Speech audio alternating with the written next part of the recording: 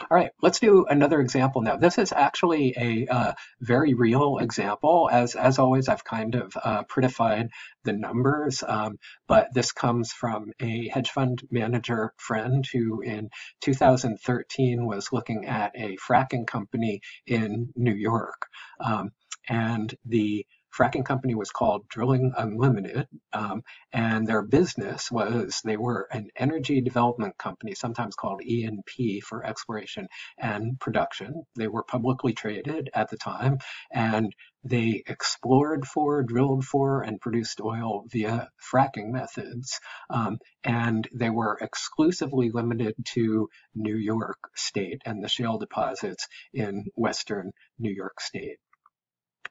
So the question for my hedge fund manager friend was, um, should he buy uh, some DU stock or should he buy the whole firm? This is fairly big outfit related to uh, JANA, which, yeah, as you may know, is a very large hedge fund.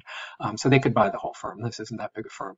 Um, so they're going to answer this by using the balance sheet valuation method, uh, just like Warren, just like Warren Buffett would. So the first thing they want to look at to get ready to do this valuation is look at the GAAP financial statement, right? So this is GAAP from financial accounting, okay? And this is as filed by Drilling Unlimited with the SEC. So the units are in thousands, so you can see this is this is a very small firm. Um, it's got a million in cash, four million in accounts receivable. They, as I'm sure you remember from accounting, different firms use different names for common accounting stuff. So some will say net receivable, some will say accounting, accounts receivable. So net receivable essentially means accounts receivable. Uh, other current assets, oil reserves, and this is going to be important. Uh, this is on measured on a GAAP basis, 300 million in oil reserves. That's oil that they believe uh, they own the rights to. It's under the ground and they just haven't pumped it out yet. Um, and their net property, plant, and equipment, right, which is their gross PPE minus all their accumulated depreciation, is 5 million. And that again is at cost or cost minus wear. So we add it all up, we get about 310 million for their assets. Their liabilities, they have a bunch of invoices to pay. They have some other current liabilities, probably accrued salary and stuff like that. Um, and they have a bunch of long-term debt, 240 million in long-term debt. So their GAAP equity is very small, right? So 5.5 million. But again, that doesn't really matter so much in terms of what's the value of the firm. Okay, we're going to need to know more about the firm to do this balance sheet valuation method analysis. We're also going to have to know what Mr. Market thinks about the worth of this firm. Okay, so we, as as you know, I've prettified these numbers as as I always do, just to make things simpler for us. Um, so the share price at the time was around ten dollars a share, and they had about 10 million shares outstanding, and a few other things that we need to note. And let's start noting this from the perspective of you working as an intern for this hedge fund manager. Um, so now let's say I'm your general manager and I'm telling you some things you should note. Um, so it's it's known throughout the oil industry that accrual accounting, accrual accounting is just a synonym for GAAP accounting. Accrual accounting uh, methods for valuing oil reserves are, are really considered wildly inaccurate. They just don't have a lot to do with the true microeconomics of that oil. So the industry standard measure for determining how much uh, proved and how much oil reserves you have is by what's called proved and probable. And that's a, a clear protocol based engineering methodology to determine the best possible estimate of the dollar value of the oil you have under the ground that you have the rights to. Okay, so we're going to hire a geotechnical engineer who can give us proved and probable estimates. So we go ahead and do that, and she comes up with an estimate, a lower bound estimate of 500 million, okay, for proved and probable. So very different from the 300 million and change that's on the GAAP balance sheet. She also, she's an expert in the field, right? Um, so she also gets a market value estimate of the firm's PPE, and she says that's $10 million, which is about twice what it's being held on the balance sheet for, the GAAP balance sheet for.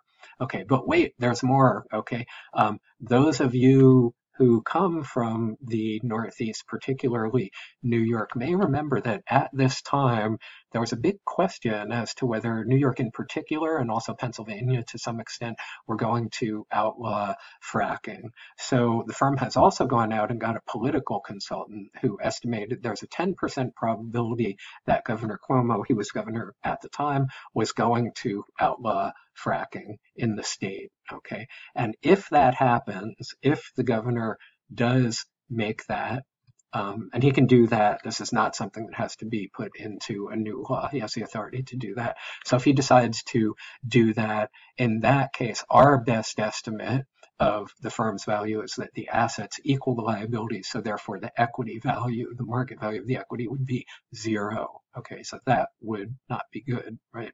Okay, so let's see. I think we have everything we need now to do a complete balance sheet valuation method valuation of this firm. And I'm just going to follow the steps that I laid out in the beginning of this chapter. Okay, so let's find a nice lower bound for equity true value. So we start with the GAAP or the accrual accounting balance sheet. Okay, and we're going to replace the cost of those assets with conservative market values because we want to have a lower bound estimate. So the managing director now that would be me, tells you a little bit more. Um, the I'll say use the consultant's value for the value of the oil reserves and net PPE. We've used this consulting firm a lot before. This particular woman that they put on the job always does an excellent job for us. Also, I want us to be conservative. So in this case, let's assume that all the accounts receivables and other current assets are worth zero. Of course, that's unrealistic, but we want to be conservative. We want to do a lower bound estimate here. And that's a good way to make sure we really have a lower bound estimate. Okay, so we're going to think about step three. What's the awesome power of the Drilling Unlimited brand? Okay, and for this, we're going to ask the managing director, and that again would be me, and I'm going to say assume no value, right? Usually with any kind of business to business company, unless it's extremely huge like Exxon or Kinder Morgan, something like that, which also both of those have a bunch of business to consumer stuff. Um, in general, with the B2B firms, business to business firms, which is drilling unlimited, unless they are huge, the market value of their brand is worth zero.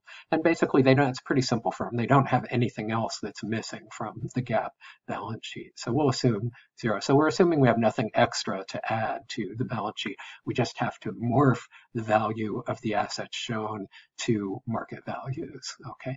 And once we do that, we will have our um, be able to get our estimate of the intrinsic value here and then we'll be able to compare that to what Mr. Market thinks and make a determination as to whether or not we should buy a bunch of shares or buy the whole firm or just walk away.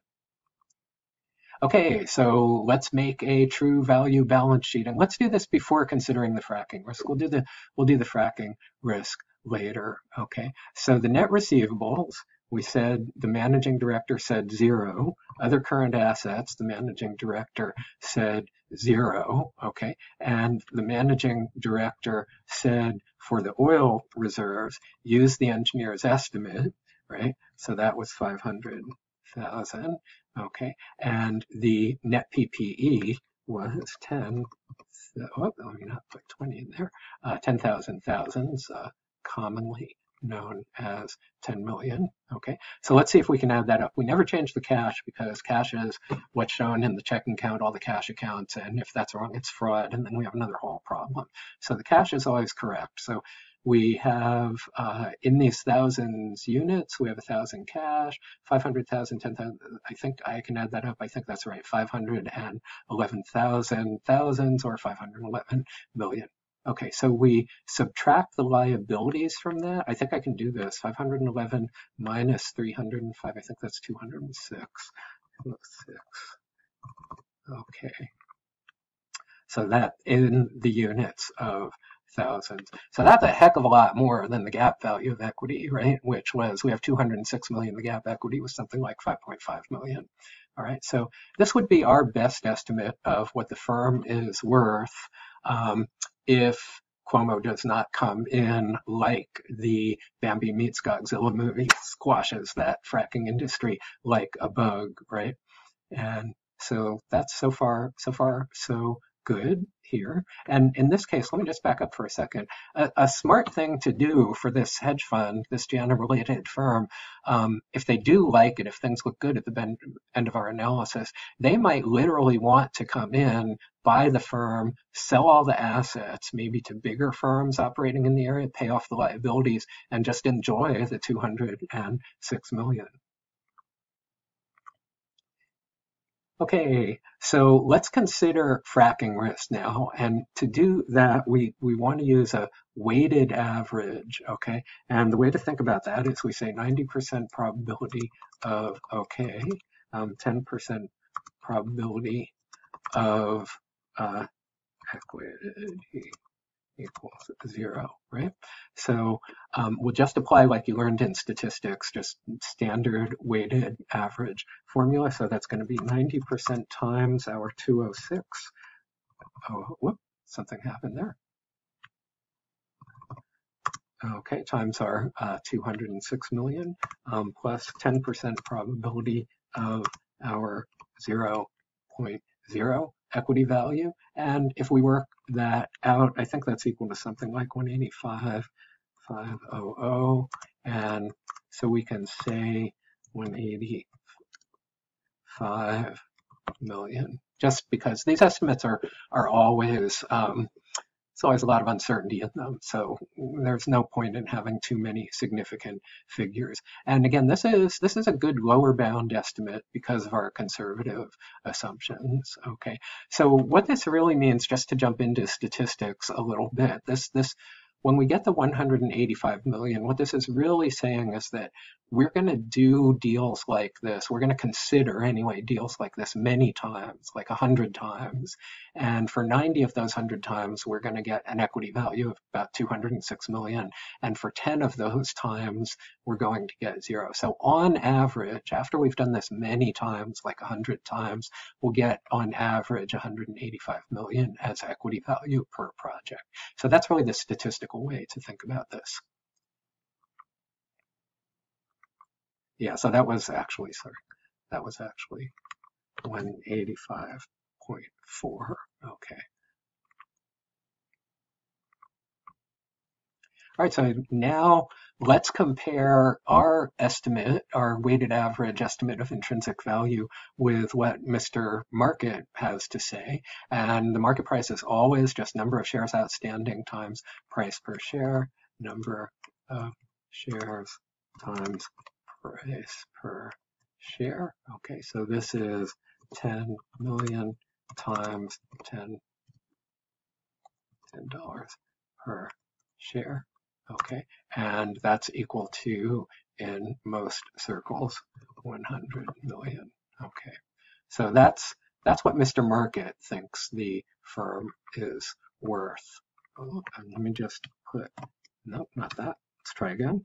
Let me put that in there. Okay, and now we know everything we need to know. We have our best estimate of what the firm is worth based on using the balance sheet valuation method. We know what Mr. Market thinks the firm is worth. So we've got here 100 million Mr. Market versus, what did we say, 185 million for our estimate of the true value of the equity. So this is a lot less than what we think it's worth. And with this firm, we really could go in, buy the firm, sell the assets. A lot of people would, would have liked those assets in 2013 in New York State, pay off the liabilities and enjoy 206 million if nothing went wrong. And if Cuomo came down like Bambi meets Godzilla, we would have gotten zero. But we wouldn't care too much because we're doing a whole bunch of deals like this. So on average for deals like this, we get 185. So we want to say go for it, invest. Okay, so that's that's the idea. So you can see even with real world firms, for a lot of firms that are relatively simple, this balance sheet valuation method uh, is really not too difficult to apply and, and works extremely well.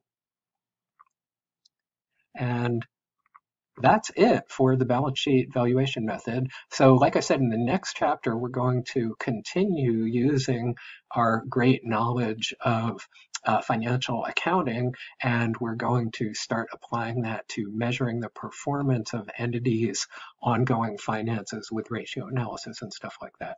So until then, um, I'll look forward to seeing you in the discussions and in office hours, and we'll call it quits for today. Take care.